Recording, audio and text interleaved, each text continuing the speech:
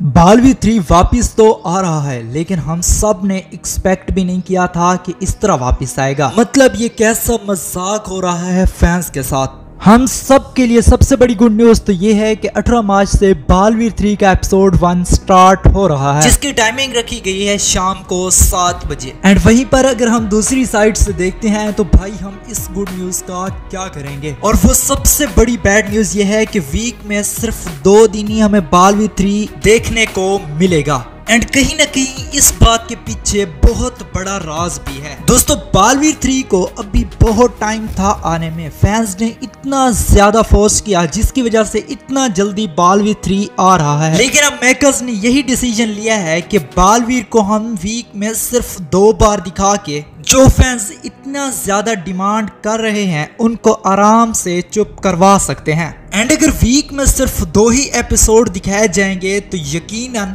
हमें शो भी कुछ अलग तरीके से दिखाया जाएगा, जो बालवीर एंड बालवीर ट्रांस दोनों से अलग होगा। एंड इस पर काफ़ी हाई चांसेस हैं कि शो में हमें रानी परी भी दिखाई जाएगी। हो सकता है कि स्टार्टिंग में हमें ना भी दिखाई जाए, लेकिन कुछ एपिसोड चलने के बाद रानी परी ज़रूर आएगी। लेकिन अब तो हमें सिर्फ़ आठ एपिसोड देखने के लिए पूरा एक महीना वेट करना पड़ेगा। एंड अगर देखा जाए तो हम सबने कितना ज़्यादा वेट किया है बालवीर थ्री आने का। उसके बाद भी हर वीक में हम सबको पाँच दिन वेट करना पड़ेगा। उसके बाद जाके हमें दो दिन शो दिखाया जाएगा। इसके अलावा आपके जितना भी क्वेश्चन है, आप इंस्टाग्राम पर पूछ सकते हैं। इंस्टाग्राम आपको डिस्क्रिप्शन एंड चैनल अबाउट में मिल जाएगा। लेकिन अगर इस टाइम पर ये शो को सिर्फ़ दो दिन ही दिखाना चाहते हैं तो एक घंटे का एपिसोड होना ही चाहिए। आप इसके बारे में क्या सोचते हैं? कमेंट में ज़रूर बताइएगा। उम्मीद करते हैं कि वीडियो को आपने बहुत ज़्यादा इंजॉय किया होगा। मिलते हैं next important and informative video में। तब तक के लिए बाय